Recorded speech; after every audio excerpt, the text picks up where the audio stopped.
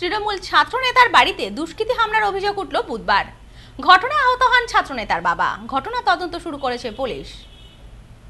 বুধবার বিকালে একদিকে যখন প্রার্থীকে নিয়ে ভোট প্রচার চালাচ্ছে তৃণমূল, তখনই ওই এলাকার এক তৃণমূল ছাত্রনেতার বাড়িতে দুষ্কৃতী হামলার ঘটনায় চাঞ্চল্য নদিয়ার শান্তিপুর এলাকায়।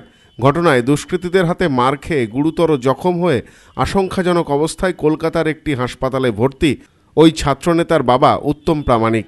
সূত্রের খবর, বুধবার রানাঘাট লোকসভা কেন্দ্রের তৃণমূল প্রার্থী রূপালী বিশ্বাসকে নিয়ে নদিয়ার শান্তিপুরে ভোট প্রচার সারেন এলাকার তৃণমূল নেতৃত্ব। অভিযোগ, একদিকে যখন তৃণমূলের হয়ে ভোট প্রচার চলছে, তখন শান্তিপুরের পটেশ্বরীতলার বাসিন্দা, শান্তিপুর কলেজের প্রাক্তন সহসভাপতি, তৃণমূল ছাত্র সংগঠনের নেতা সৌমিত প্রামাণিকের বাড়িতে হামলা চালায় কয়েকজন দুষ্কৃতী। অভিযোগ, সেই দুষ্কৃতীরা বাড়িতে ঢুকে বাড়িতে ভাঙচুরও চালায়। অভিযোগ তাদের বাধা দিতে গেলে সমিতের বাবা উত্তম প্রামাণিককে ব্যাপক মারধর করে দুষ্কৃতীরা। ওরা এসে ডাকছে আমরা গিয়েছি বাইরে ছিলাম কথা বলছে বলছে বাড়ি নিয়ে আসছিস কামড়ে দিয়েছে ওর বাবা বেরিয়ে গেছে। আমরা ঠেকাতে যাচ্ছি তো। তো ওরা ওদের কাছে আমরা গিয়ে পারি মেয়ে ছেলে মানুষ। মারছে আমাদেরও মারছে ওর বাবাকেও মারছে ধরে। ফেলে পিটাচ্ছে যা পাচ্ছে তাই দিয়ে মারছে। আরও অভিযোগ তাদের ঠেকাতে গেলে সমিতকে লক্ষ্য করে গুলিও চালায় দুষ্কৃতীরা। কিন্তু সেই গুলি লক্ষ্যভ্রষ্ট হওয়ায় প্রাণে বেঁচে যান সৌমিত। পরে স্থানীয় মানুষজন ছুটে এলে পালিয়ে যায় দুষ্কৃতীরা। পরে রক্তাক্ত উত্তম প্রামাণিককে স্থানীয় শান্তিপুর হাসপাতালে নিয়ে যাওয়া হয়। অবস্থার অবনতি হলে সেখান থেকে তাকে কলকাতায় স্থানান্তরিত করা হয়েছে।